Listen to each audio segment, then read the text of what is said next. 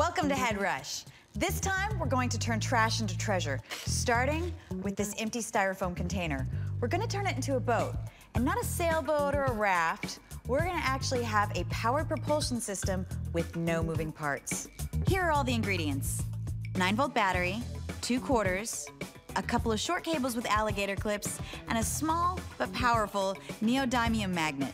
It may seem simple, but it all adds up to a propulsion system that might be the future of space travel. So how exactly does it work?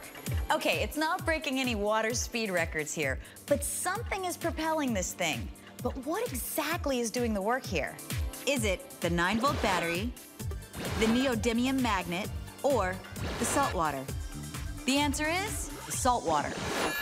When a conductive fluid is exposed to a magnetic field and an electric current at right angles to each other, the fluid is always propelled in a direction perpendicular to their axes. Spacecraft propulsion could work the same way, except instead of salt water, you'd pull plasma, a cloud of ions that would also act as a conductive fluid.